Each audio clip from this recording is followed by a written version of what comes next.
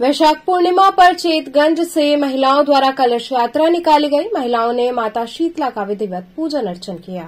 वैशाख पूर्णिमा के अवसर पर चेतगंज से महिलाओं द्वारा बाजे गाजे के साथ भव्य कलश यात्रा निकाली गई। लाल परधार में सज धज कर माता की जय जयकार के उद्घोष के साथ महिलाएँ चल रही थीं।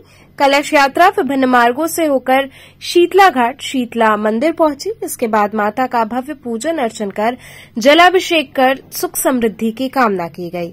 यात्रा में शामिल महिलाओं ने बताया कि आज के दिन माता का पूजन अर्चन करने से सुख समृद्धि की प्राप्ति होती है। वहीं मंदिर के पुजारी सतीश पांडे ने आज के इस महत्व को विस्तार से बताया।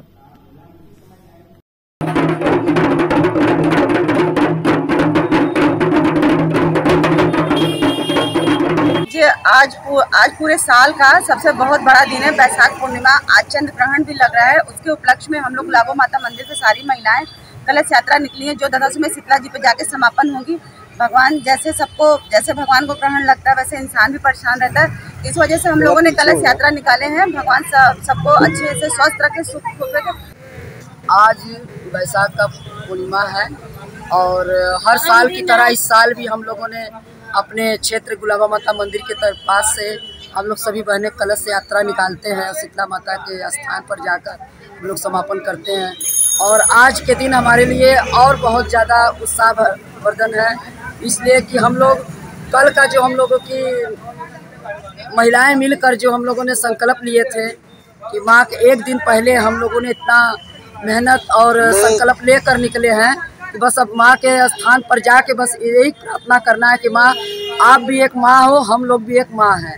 माँ शक्ति का रूप होती हैं और जिस चीज़ के लिए हम लोग संकल्प किए हैं, वो तो अंतर्यामी है।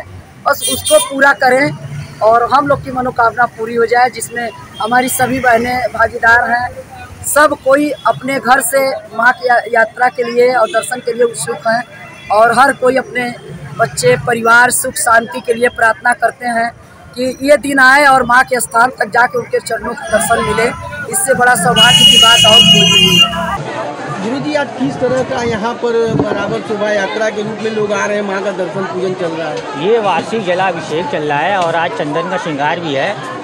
और पूरे काशी वासी वासियों का ये जलाभिषेक होता है।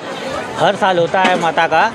और आज आज ऐसा दिन है माता का कि आज ही के दिन गर्भगृह में जाकर लोग अपने हाथ से एक लोटा जल माई को चढ़ाते हैं और अपने परिवार को सुख समृद्धि और शांति और ऐसर के लिए माता का अभिषेक करते हैं।